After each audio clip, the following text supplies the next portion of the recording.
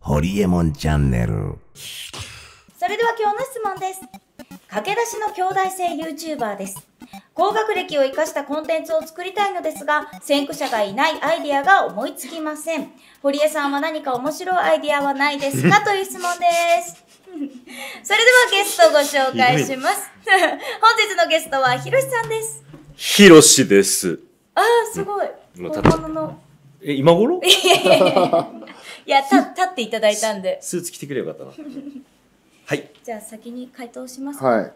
はい。おお、なんかいきなりそうなんだ。はい。えっ、と、高学歴を生かそうとか思わず、得意ジャンルで攻めた方がいいえー先駆者がいないアイデアを思いついてどうすんの？ある程度仲間がいるジャンルの方がやりやすいし、先駆者のノウハウもパクれるしっていう。はい。すぐ先駆者になりなろうとするんだよな。い まあ、先駆者の方がいいのかもしれないですけど、や、先駆者良くないよ。よくないですかね。先駆者は、だって俺先駆者じゃん。はいはいはい、IT。本とかも先駆者本となんか先駆者本。はいいや僕の僕は本たくさん出してるわけですよ、はいはい100冊とか出してるから、もう俺の本って完全に分かれてて先駆者本とベストアルバムみたいなるほど。はいはいはいはな、い。もうしかないんですよ。はいはい。これは先駆者本ですこれは先駆者本ですね。あこれこれこれこれこれ僕の僕のこれ瞬間ね。これは？それは分かんないけど。わかんないで推薦してるでしょ。それは、いやいやそうじゃない。先駆者かどうか分かんないけどこれは先駆者本です。これは先駆者本。めちゃくちゃ面白いですけど僕的には。はい。これあのもう。大炎上したネタですもんね。そういやネタは関係ない。の大炎上したネタっていうのは別にそのただのただのつかみなのもう大炎上したネタがどうだっていいわけそれはだからつかみとしてもう内容がもうめちゃくちゃいいんですよ。はい。どういった内容ですか？もう8人の若手の寿司職人にその人たちのその商売どうやって寿司屋をややろうと思ってどうやって寿司屋を今最先端もう人気なんですよ全部。はい、8人。みんな予約の取れない寿司屋の大将なんですけど彼彼らにそのどうやって寿司屋になったのかとか今どうやって人気を作ってるのかとか、はいはいはい。どういうふうになりたいのかみたいなことをそれぞれに聞いたんですよ。はいで全員バックグラウンド違うんですよ。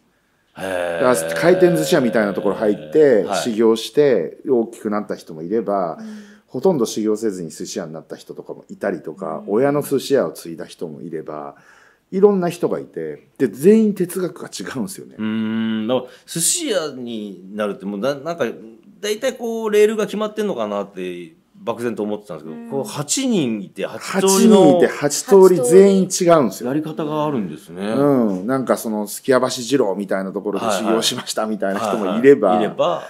うお父さんが町のなんか本当仕出し寿司屋みたいなところで、そこから出発したんでだけどその仕出し寿司屋をやりたいわけじゃなくてその高級寿司店をやりたいわけですよ、彼ら。だからもう独学でそれは学んでもうそれこそ寿司屋食べ歩いて思い悩んでたどり着いた究極の寿司みたいな話とか、もうウウニの産地とか産地だけじゃなくて同じ産地なんだけどここの海岸とここの海岸でウニの味が違うんだとかね、だからそう一つのものでもいろいろこうなんかありますよね、こうこだわる萌え萌えポイントって言っていいのかどうかわかん。ないけどだだけどねもうここで新しい概念が山ほどね例えば指定関係もこの例えばこの指定指定関係。指定関係ね、はいはいはい。この人ここの花野良樹さんはいはいはもう個人的にこの寿司一個の工藤さんにあのなんか師匠って言って師匠指定関係になってるわけですよ。青うはい青いで。だけどこの人麻布十番の寿司屋なんだけど札幌の寿司屋にバーチャル弟子入りしてるんですよね。バーチャル弟子入り？松張りだから、その、そこに実際に行って、札幌の寿司屋でなんか修行してるわけでも何でもなではなく、くて。時々その実際に会って、いろいろな、例えば一緒になんか、なんか、寮に行ってみたりとか、みたいなことをしながら、こう、彼のこう精神とか教えをあちょっと吸収オンラインでこう吸収してるみたいな。オンラインで？いや、だからそういう LINE とか、いそういうのでこう、交流をしながらとか、だから例えば、うん、うん、とか、あと、誰だっけな、誰、誰だか忘れましたけど、えっ、と、仕入れとかも LINE でやってたりとかするんですよ。漁師さんに、青森の漁師さんに、そっかそう、漁をして、あの、青森で上がるのはもう午前1 1時とか0時とかぐらいでそこから築地に送られてくるんだけどはいはい。も築地に送られてくる前に漁師さんから LINE で「今日はこのマグロはこうこういうのとこういうのが上がったからこれいいよ」とか写真真も来てあこれいいねっつってじゃあ築地にあの取っといて中卸さん取っといてもらおうみたいな。はだから行かないですよ。はあ。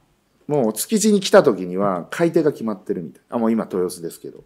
あはあ。だからちょっとさっきの花屋みたいなことなのかな、うん、もうねこれこれが先駆者本。はい。先駆者本でこの先駆者超絶先駆者本なんだけどうん。これ多分ね売ら,、ね、売れないと思うんですよ。あんまり先駆者本売れないって堀江さん自身でねそう。これ言ってましたもんね。これ先駆者本じゃないから売れます？どっちかっていうと先駆者本じゃなさそうな感じがする。だから売れると思う。そう。先駆者本ではないと思うんですよね、うん。そう。だからね先駆者本っていうのは全くあのみんな理解できないんですよ。理解できる人がすごい少ないんですよ。なるほどね。ついてこれない。いやそうだからそうねついてこれないん先ですよ。駆者すぎてね。ついてこれないから売れないんですよ。だから先駆者にならない方がいいんですよ。なるほど。先駆者はもう下手すると10年とか時間がね。ずっと先駆者だから。ちょっと売れないわけ先駆者ですからね。だから10年間売れないわけ理解されない理解されないわけ。時間が長いっていう。そう理解されない時間が長いから余裕がある人しか逆に言うとできないんですよ。なるほど。あ余裕がある。だから僕は余裕があるんでやっとくとこれが10年後くらいに、まあ、5年ぐらい寝かすとなんかちょっとそわそわそわそわとこうそれをまたなんかあのリニューアルした本が出てそれが売れるんですよ。なるほどね。先駆者だな。だから先駆者本は作っとかなきゃいけないんですよ。先駆者本のストックは必要で、はいはいはい。それを作るのは楽しいんだけどその後のベストアルバム本は作るの超絶つまんないわけ。もう自分で焼き直してすってこすってるだけだから、なるほどね、だからほらミュージシャンがあのベストアルバム出すの嫌ったりとかするじゃしまないですか、すね。なんで一曲出してんのにもうまた同じ曲をっていう、うん、それをしかもなんかこちょっうと変なアレンジして。とかなんかこう組み合わせこれこの次の曲にこの次の曲みたいはない。のとかでバーって。気持ち悪かったりするでもそれはもうファンからしたらそれがたまん欲しいわけないんですもんね。そうなんですよね。そこそこそこ一個欲しいわけですよ。ファンはベスト欲しいですかそう。らねだからライブとか行ってもベストで歌ってほしいわけですよファンは。そうなんですよ。もう余計なことやんなくニューアルていいんですよ。バムとかいらないからみたいな。あアコギでやんなくていいんですよ急に。そう。ちゃんとドラムとベースとやってほしいんですよ。めっちゃわかる。だからそういうなるほどね。うん。あ分かりやすいわ。本もそういうことで YouTuber もそうでもう新しいジャンルなんか、お前作るの大変だよっていう。ですね。時間もかかるしね。はい。で結構ライバルとかが多分こうやってるうちに先駆者じゃなくても出てくるんでなんかそれにちょっとまたいやだから何人か同じことやってる人がいる分野がいいんですよ、俺例えばだから今東大受験企画ってのやってるんですけど ABEMATV で。はいはいはい芸人を東大に受からせるみたいなのやってんだけど、そこで教えてもらってる数学の先生とかはあの YouTuber ですよね、うーん。数学大学生向けの数学の YouTuber をやってます。YouTube ももう授業やってますもんね。めっちゃうまいのでも授業やってますよね。教えんのが教えんのが、うん。えみたいな。俺微分積分が2時間で終わったからねそのそのこの2時間でセンター試験の問題が解ける、でまあもちろん昔20、30年ぐらい前にやってたからっていうのもあるけど、はいはい。それ2時間で思い出せたもんね。うまいなぁみたいな。うん。ああだからやっぱ自分で発信する人だから教え方もうまいんでしょうね。いやもう、そう、要は、いいねがつくから、うん。でよやっぱそういうそういう人コメントの動画もいいねもつくから、見られるわけじゃないですか。でもねその人が先駆者ってわけじゃないですもんね。YouTube で授業するっていうのは、うん。ってことですよね。そうそうそうそうそう、だからいろんなその勉強をしてるにしろいろんな科目もあるし、うん。じゃないですか,、うん。だからこうなってくると学校の先生いらないんだよ。な 確かあ、いらないんですよ。ね？はい、いらないんです。いやマジで俺いや、マジでいらないですよ。学校の先生ってもうずっと思ってたんですよ、に、うんいるこれっていう。いや、いらないですよ。だ僕は堀江さんみたいに賢くて、あの、いらないんじゃないかじゃなくて、なんか、人によって扱いを変えるし、人間だから当然なんですけどもうん、それによって僕か僕も、でもやっぱ教えられ方で全然変わると思うんで、うん。いらないですよ。いや、でも実際今、リクルートがスタディサプリっていうのやってるから、もう本当先生はティーチングアシスタントっつって、はい。偏まあ大体だから、偏差値でいうところの50以下ぐらい、はい。まあ、40代から30代、20代ぐらいの人たちのアシスタントをするのにいて多分ね、50以上は、あの、スタディサプリで大丈夫。うんなんですよなるほどね。実はそうはいということではい、ということでじゃあ先駆者はね大変なので得意ジャンルで攻めることを考えてみてください、はいそれでは最後カメラに向かって告知をお願いしますえーどうも、えーお笑い芸人のひろしでございます。お久しぶりでございます。本を出しましたよ。こちらの表紙です。えー書、書店にはこう置いてなくて、たまに、うん結構こう置いてあることがあるので、えー皆さん、ここを覚えてください。このピンクの感じを、こね、こですね。はいはい、ひろしです。ビジネス書となっております。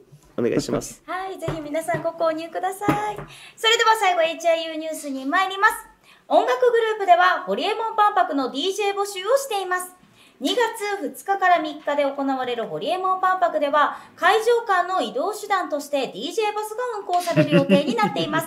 そこで DJ を募集しています。1年以上の経験が条件になっていますが、めったにない経験ができること間違いなし、ホリエモン万博を盛り上げませんか？ということでね。ね。移動、移動の時も飽きさせないといねえ、いいですね。いやいやはいというもうことれねで DJ バス一回運用したんですよ、あ、経験済みなんですね、もう。うん、あのキングコングの西野君と二人で東京 DJ バスみたいなえ、え、え、え、金婚の西野さんと堀エモ門さんでそう DJ をやったんですか？DJ は DJ 大のあいやいや大の字さんがやったんだけど、ねはい俺らがそのプロデュースして。あの東京中をこう例えばあのレインボーブリッジを渡ろうとしたらドゥッドゥッドゥッドゥッドゥみたいな大小撮影。そうそうそうそう大小写真みたいな上昇してね、忘れて現場で起こってんじゃないんだぜ。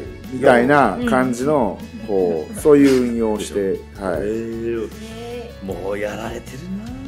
はい、ということもいろいろやってますので興味ある方はぜひ HIU 入会してください、はこの番組が面白いと思ってくれた方チャンネル登録お願いします。堀江さんの意見に賛成か反対かのアンケートも答えてみてください。あとメルマガに登録いただくと堀江さんが全質問に答えてくれるのでメルマガ登録もお願いします。はい、それでは今日もありがとうございました、は